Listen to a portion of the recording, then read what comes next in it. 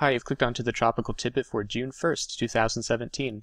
It's the first day of the Atlantic hurricane season, and it's about this time of year that we start talking about the seasonal forecast and, in general, what kind of activity we might expect in the Atlantic during the summer and fall.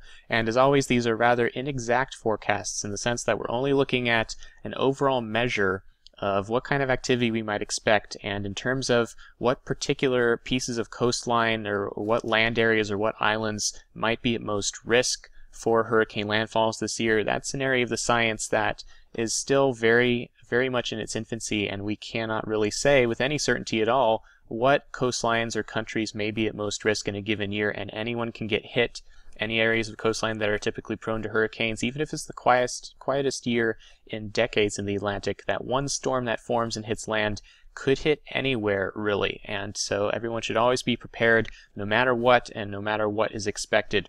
Uh, but we are going to talk about this year specifically and uh, what we might expect in the Atlantic. Now we're starting off, of course, with the global SST map for the last 30 days, basically the May anomaly. Uh, and this is always what we look at, really, because the oceans explain a lot of what we need to know for hurricane season. And why is that? It's because the oceans are very persistent across time scales of a few months compared to the atmosphere, which we can only really predict out to a couple of weeks maximum with any kind of skill. Uh, but the oceans persist a little bit longer than that. And so when we have these large scale features of warm and cold water relative to normal across the globe in May and June, you can reasonably expect most of those major features to remain the same for at least the next few months going into the summer. And so this can give us valuable information as to how the hurricane seasons around the globe may evolve in response to this oceanic configuration because sea surface temperature does govern a lot of tropical circulation and it gives us almost all of the information that's necessary to make a reasonable forecast for the hurricane season. So the major features we see around the globe here are that we have a pretty ENSO-neutral pattern in the equatorial Pacific. We don't really have um, an El Nino or La Nina right now, and it is a warm bias to neutral, so it is a little warmer than average, but it is not at El Nino threshold right now. And uh, this is especially interesting because uh, only a couple of months ago, most models forecast an El Nino and a pretty strong one to develop during this summer in the equatorial Pacific. And if that were to come to pass, it would focus convection uh, over the Pacific, and you would uh, get outflow that causes wind shear over the Atlantic and then compensating sinking motion over the Atlantic as well to compensate for the rising motion over the Pacific. And that normally shuts down the Atlantic hurricane season and makes it much more inactive than normal. Uh, but the models recently, in the last couple of months, have dramatically backed off from their El Nino forecasts, and most models are now only dancing with the El Nino threshold throughout the summer and early fall. The Atlantic hurricane season ends right about here on this graph, and uh, most forecasts now are really around here. Uh, some of these warmer ones up top are even coming cooler than you see them here, and uh, the only real warm, reliable model left is the ECMWF, and even it is beginning to back off of its El Nino that it has been forecasting. So the consensus now is really that we're likely to have a warm biased ENSO neutral or maybe a weak El Nino uh, for the summer and the hurricane season. And even if we have a weak El Nino, it, it's not a, if it's not an overwhelming El Nino, it leaves the door open for the Atlantic to compete for some of that convective activity. If you have a big El Nino, the Pacific always wins. But if it's even a weak El Nino or maybe a warm bias neutral, uh, the Pacific might not necessarily steal all of that thunderstorm activity, in the Atlantic can still have a chance to compete with the Walker cell in the Pacific. And uh, one reason that it may be able to compete this year and go head to head with the Pacific is that the MDR is currently a little warmer than normal. This uh, main development region is what that stands for. The deep tropical Atlantic, where most hurricanes initially form, uh, this is warmer than normal right now, which favors Atlantic convection during the summer, and that thunderstorm activity is a, is a favorable sign for hurricane development in general if this persists. And uh, these two regions together, if you consider the tropical Atlantic and the tropical Pacific, the comparison of these two regions tells you a lot about the hurricane season. For example, if the MDR is anomalously colder than the central Pacific ENSO region, then you almost always have an inactive hurricane season in the Atlantic relative to average. And if the MDR is warmer anomalously than the central Pacific, then you have a better chance for an active hurricane season. Uh, we can see a lot of this in a plot where if you plot these two things together, where the y-axis here is the difference between the MDR and the Nino 3.4 region, anomaly. So the top half of the graph is where the Atlantic is essentially warmer anomalously than the ENSO region. The bottom half is where the tropical Atlantic is anomalously colder than the ENSO region. And then we plot that against the x-axis, which uh, is Atlantic ACE, which is an overall measure of hurricane activity during the season. The right hand side of the graph is active hurricane seasons, the left hand side is inactive hurricane seasons. You can tell a couple of things here. You'll notice that you never really have active Atlantic hurricane seasons when the MDR is colder than uh, the Central Pacific. That almost never happens. You really need the MDR warmer um, for you to, you to have a good chance of a hurricane season. And you can see that when we have La Ninas and uh, a warm Atlantic, those are red dots, and those almost always have active hurricane seasons associated with them. There's only one example in here, 2013, which we'll mention again later, that really failed to generate hurricane activity uh, in that configuration. So we don't have a La Nina that this year, so we can't use this as a guidepost. Normally, if we have a La Nina and a warm Atlantic, such as 2010 or 2005, it's almost a guarantee that we have an active hurricane season on tap. But this year, we don't have that. We do not have a La Nina. Uh, the Atlantic is warm, though. And so these two are now warm together. One is not cold and the other warm. Instead, they're both warm right now. And uh, what we can look at on this graph is the set of yellow dots, uh, which indicate all years where that was the case, where both the Central Pacific and the Tropical Atlantic were warmer than average at the same time. And you'll notice that there's a, a large spread in these yellow dots from right to left, indicating that there were some years like 1987, 2009, 2006 that were inactive Atlantic hurricane seasons. And then other years like 2012, 1969, 2003, 2004, which were active Atlantic hurricane seasons. So there's a spread of outcomes here having a warm ENSO region, a warm neutral ENSO region, and a warm MDR at the same time doesn't really guarantee you a result. And so there's uncertainty here, and there are, you have to look deeper to find answers. It's not a slam dunk anymore. When you don't have a strong La Nina or a strong El Nino, it really reduces uh, some of the explanatory power that the SST pattern has. If it doesn't, it's no longer dominant. If you don't have a La Nina or an El Nino, it doesn't dominate the pattern, and so it becomes more difficult to decipher what will occur. So there's more uncertainty this year than usual, not to mention that this configuration is somewhat rare and we have rather bad analogs. Uh, for example, the best analog objectively right now to the global pattern is 1981. And there are a couple things wrong with it. One is that it, it has kind of a La Nina-ish pattern, which is not what we're going to have. We're going to have a warm uh, bias to neutral or a weak El Nino, if that. Its PDO signature is opposite of what we have uh, right now in some ways and not others.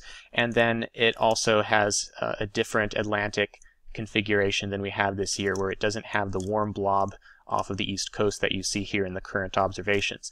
So this analog is actually pretty bad, and yet it's the best one since 1966 anyway in the database. So we don't have a lot of historical pretext for some of the patterns that we're seeing, and so we're going to have to use a little more common sense uh, with the current observed pattern uh, to get an idea of what we might expect from it. So if we go back to our 30-day observed uh, SST plot here, if we have a, a, generally ENSO neutral warm or weak El Nino state in the Pacific and we assume that stays that way and we have this uh, warmer tropical Atlantic and we assume that stays that way during the summer, then that leaves us with a still uncertain situation. So we need to look for other things that are going on.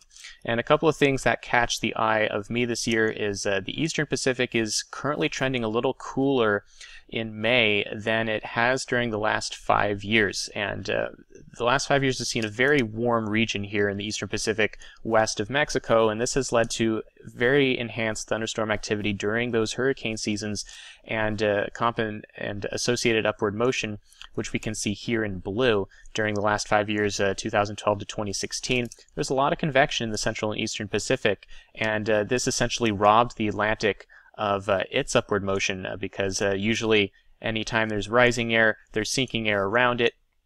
And uh, so if the East Pac has all the rising air, the Atlantic usually doesn't get very much. And so the Atlantic has had generally uh, inactive hurricane seasons during this time period, especially in the deep tropics in the area where hurricanes typically form in the MDR here. Uh, but this year, with the water a little bit cooler so far, if that persists into the summer, it could indicate that this pattern will not appear with the ferocity that it has in recent years, and we may even see something closer to the opposite of that, where the Atlantic takes uh, more of the anomalous vertical motion compared to the eastern Pacific, and things tilt more in favor of the Atlantic if that's the case. Uh, the other thing going on though with the Atlantic is that despite the warm tropical SSTs, we have some stuff going on to the north, namely this warm blob east of the United States. And this has been a semi-permanent feature of the last several years as well. And the reason this matters uh, comes into play if we look at a, a closer look at the Atlantic here. Here's another look at it. And compare it to years that were active in the Atlantic during June or July, August, and September.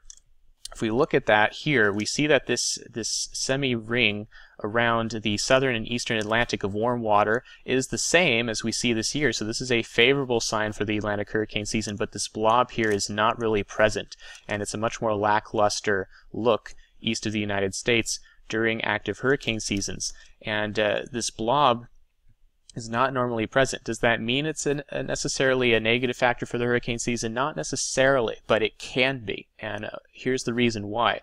If you were to plot the mean contour of, say, 26 Celsius SST during the peak of the hurricane season, it's normally something like this and dips down near Africa.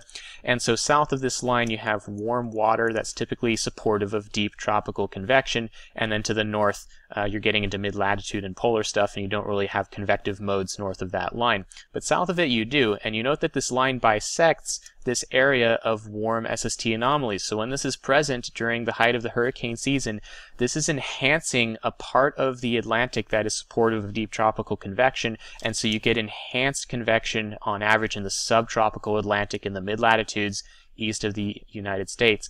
This can disrupt the regular Hadley cell in the Atlantic. The Hadley cell is where you typically have a rising air and thunderstorms in the tropics, and then it comes uh, to the north and sinks up here. So you have rising motion here, sinking here, and that typically supports the deep tropics, where the tropical waves are coming off Africa and trying to develop.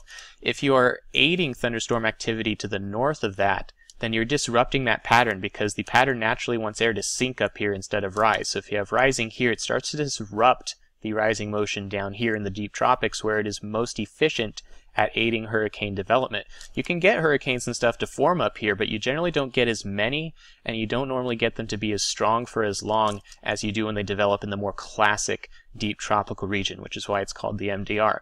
And so when you see warm water up here, if you get too much of it, it can disrupt the Atlantic. We had this kind of problem in 2013 where we started off nice and warm down here and the uh, forecasts were generally for an active season, but we got too much warm water up here. The Atlantic uh, disrupted itself a little bit. Its configuration was not optimal despite how it looked early on, and we ended up with a very inactive season in 2013. So there is the possibility that we have something like that happen again, especially if the swarm blob expands a little more to the east than it is now. But if it stays small and other things dominate the pattern, um, it may not be a factor. It's kind of hard to say at this point, but it is possible that that puts a damper on what is otherwise a fairly favorable SST configuration in the Atlantic. So those are a couple of things to think about. We have uh, a non-committal ENSO signal. That means that the El Nino La Nina signal does not dominate the pattern this year. Normally that's a nice out. It helps us forecast the season with confidence when we have a La Nina or an El Nino. We don't have that this year. So confidence is lower than normal. We have a couple of competing factors going on in the Atlantic. We do have a warm tropical Atlantic, which is a favorable sign for the hurricane season and could support an active year. But we also have some weirdness in the subtropics, which has historically um, hindered uh, activity in years such as 2013 in recent memory. And we still have a, a, weird Pacific configuration where waters are still very warm near Hawaii, which could increase the threat for them this year if storms track near there. But we also have a cooler East Pacific so far. Um, both of these compete with each other, and uh, which one of these ocean basins, the Pacific or the Atlantic, gets the most convection this year and the, the most favorable Walker cell and lowest wind shear will likely have uh, the more active hurricane season relative to average. Taking the balance of all these factors into account, the most likely outcome, in my opinion, is probably a near normal year. Perhaps slightly above average, but probably near normal. A normal year in the, in the Atlantic is about 12 storms, 7 hurricanes, 2 of which become major. Uh, NOAA has uh, come out with their outlook and said that a near to above normal hurricane season is most likely this year, uh, with 11 to 17 storms. And uh, the count is not as important as, of course, where they go. We can't tell you that now. Uh, we don't know where an individual storm will go until it forms, and until we have that happen, we won't won't know. Uh, so everyone, uh, please stay prepared for this year. Uh, it is not likely to be a super quiet one, so there could be multiple land areas getting hit by multiple storms, as is often the case uh, when we don't have super quiet years. There are usually multiple landfalls, so uh, folks in the Caribbean, in the United States, and Canada, and Bermuda, and all the other islands across the tropics, uh, do be prepared, and we'll keep you updated here during the rest of the season. Thanks for watching.